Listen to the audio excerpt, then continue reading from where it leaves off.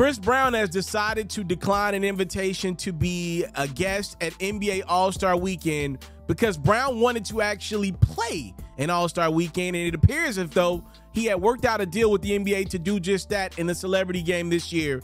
According to Brown on his Insta story, he was asked to be in this NBA All Star Weekend and play in the game, only for them to call later and say that they couldn't do it because of their sponsor, Ruffles, the chips Brown said, At this point, I'm sick of people bothering me and I'm tired of living in the effing past. He went on to post emails of the NBA trying to get him to sit courtside, but they just didn't want Brown in the game. So he's good enough to sit courtside and be on camera for ESPN and the NBA, but according to Brown, he wasn't good enough to actually be a part of the game because Ruffles Chips would have pulled their sponsorship or had a problem with it, and they work with the NBA. So we're gonna hear a message from the sponsor, which is Underdog Fantasy, my sponsor, and then I got something to say about this because I'm not happy about this one bit. If you are like me and love flexing your NBA knowledge, you should head over to the best place to play fantasy sports. That's Underdog Fantasy. For me, I love the pick'em game. It's super simple to play too. All you got to do is go to the Underdog Fantasy website or app, pick whether a player will have a higher or lower stat line for that game, get all your picks right, and you can win up to 20 times your money. And when you sign up, if you use my code Pharaoh, your deposit will get doubled. You can't beat that. Again, head over to today's sponsor, Underdog Fantasy's website or app, use my code Pharaoh, and your first deposit will get doubled. Yeah, make sure you tap in with my sponsor, Underdog Fantasy. They accept your boy open arms and they would accept you. Use the promo code Pharaoh. Sorry, little shameless plug there.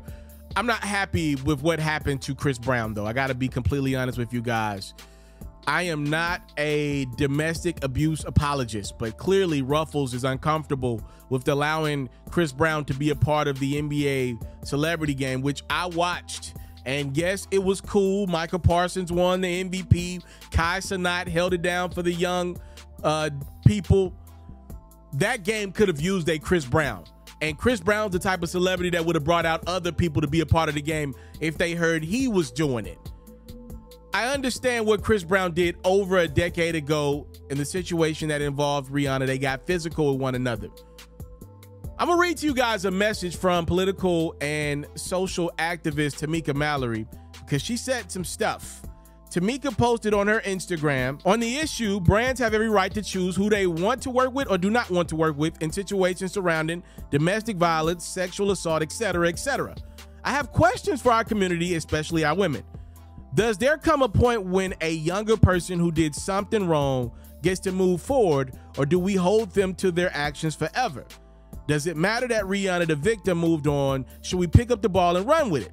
Is there something Chris Brown should be doing or something he should have done to earn back the respect of the people? How should we talk to our young people about redemption or the absence of such?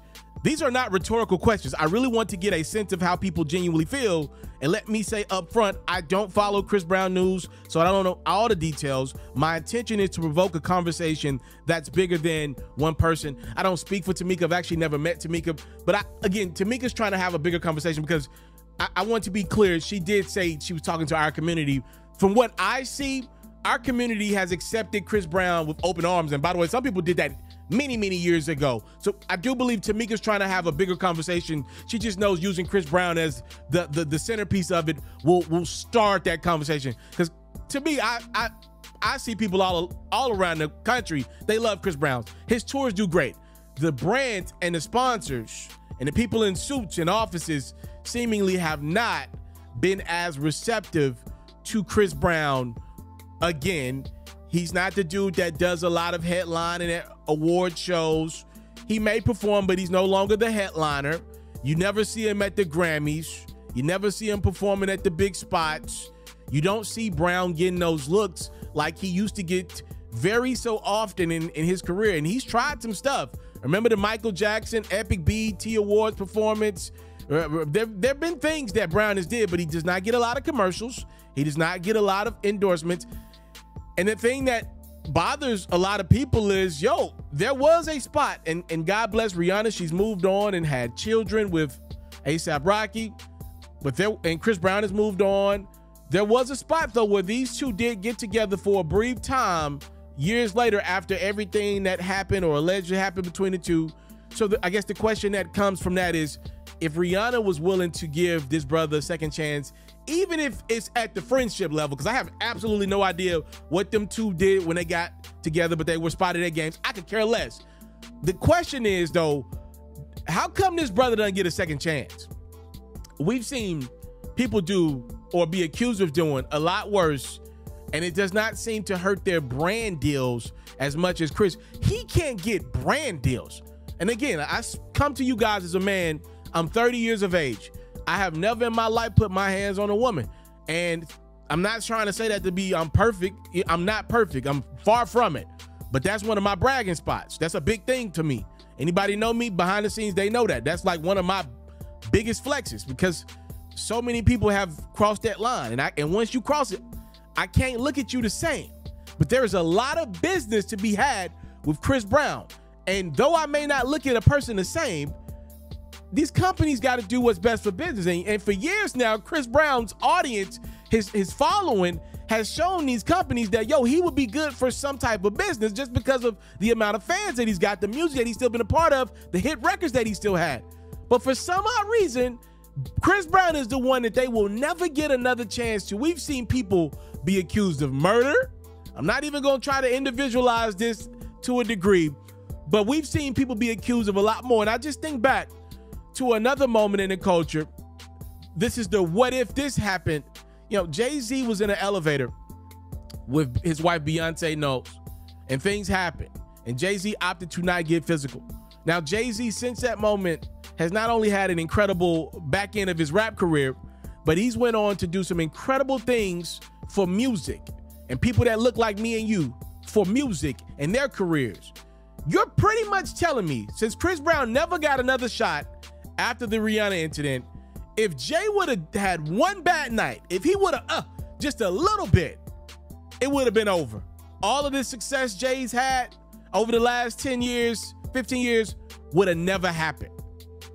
And I just don't know about that. I don't know. I, I'm not saying either way. I'm just, I don't know about that.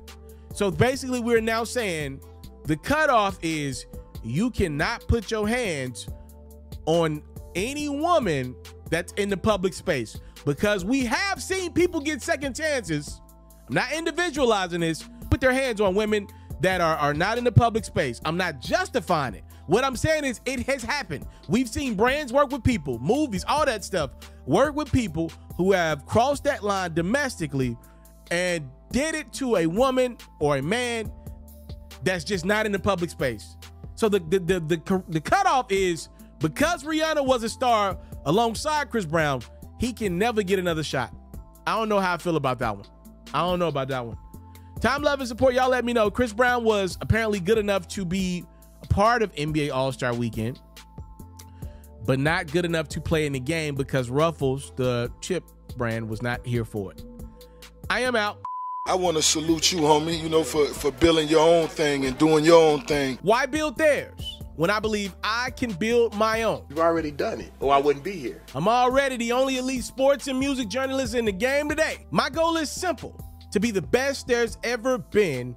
So, please don't go. Make sure you subscribe and follow the journey. It truly means everything to me.